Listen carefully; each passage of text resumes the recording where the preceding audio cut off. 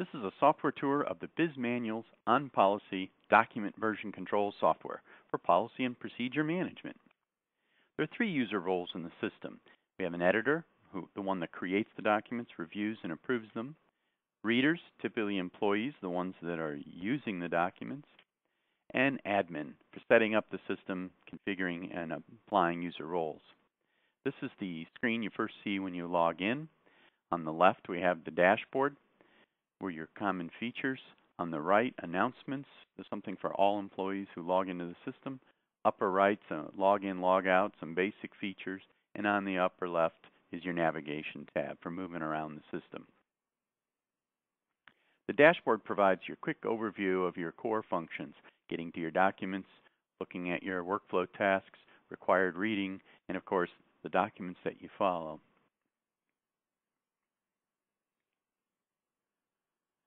All documents can be found uh, by clicking on the All Documents tab. Any document can be housed in the system, WordPerfect, graphics, PDF, HTML, basically anything that you have can be stored. Your workflow tasks display the number of items you have awaiting uh, your review, your approval, your release, depending on what you've been assigned to do.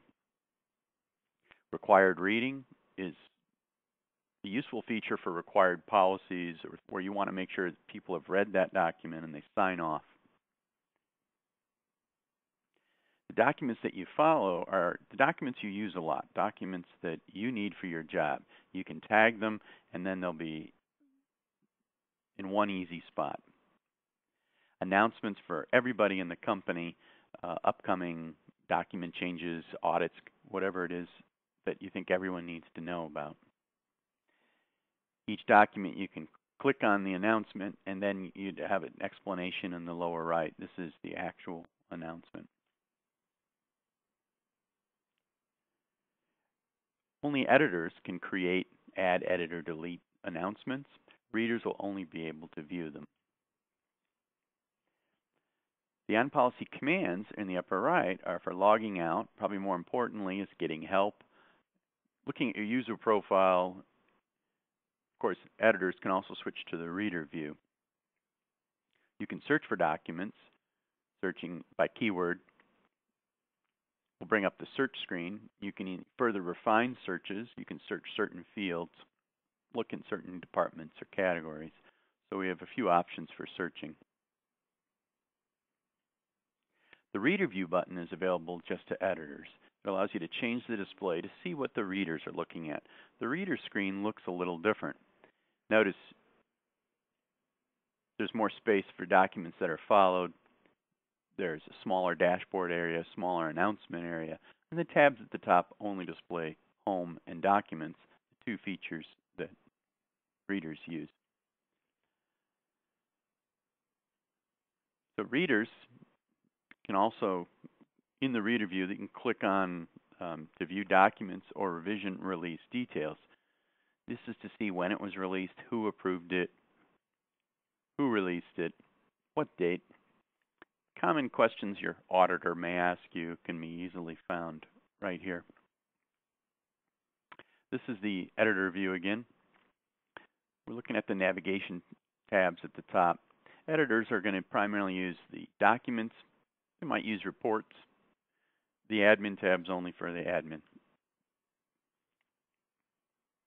Let's take a look at documents. The document screen lists all the documents in the system.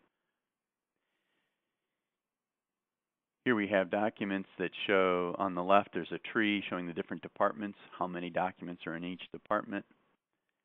Departments can also be subdivided into categories, processes, groups of some type. On the right, we have each document listed with its title, current revision, extensions. We know what kind of document it is, and a, and a document type, so you can even label the document, so you can tell the difference between a form, a work instruction, a policy, procedure, a process map, whatever it is. You, the, you, all of these labels are editable. Selecting either the details icon or this little or the hyperlinked title will take you to the document detail window. The document detail houses most of your metadata, that's document title, description, department, categories it's assigned to, the type of document, Uh, and these are the these are editable. The, the department or group, the category or process, the document type can be assigned and edited by you to whatever you need. All changes to documents are saved as revisions with the revision number, date, and revision status. Revisions can be viewed as a PDF using the little binocular or open for editing using the pencil. If you see a down arrow, then the job is disabled and you must download the document to your computer in order to edit it locally on your computer. In addition to revisions, you can set document access, permissions, review document drafts, review and approval activity, related docs. So there's a number of customizations you can have to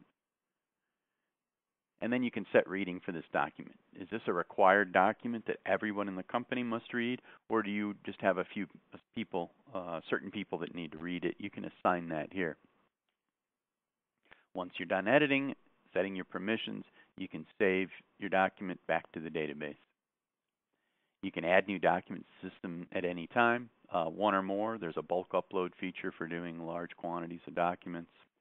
There's a help video explaining how to add documents to the system. That's basically a quick tour of the OnPolicy Policy and Procedure Management System. Start your free trial today. Go to onpolicy.com and click on Free Trial. Thank you for viewing.